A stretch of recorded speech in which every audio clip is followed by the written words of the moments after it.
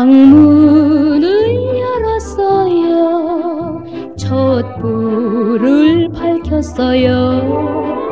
당신이 좋아하는 라일락 꽃을 이렇게 받쳐들고 기다리건만 왜 우리 추억 두고 못 오신다면 저렇게 깜찍 초생 달림을 서러워 서러워 서러워 이볼까요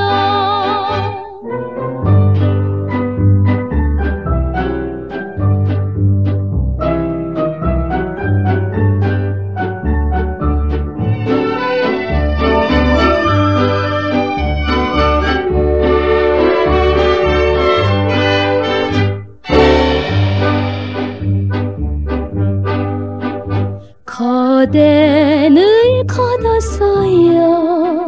등불을 밝혔어요.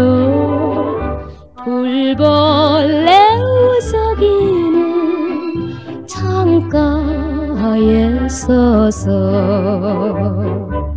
외로운 이 한밤을 지새우건만 연자색 꿈만 두고 못 오신다면 이렇게 고독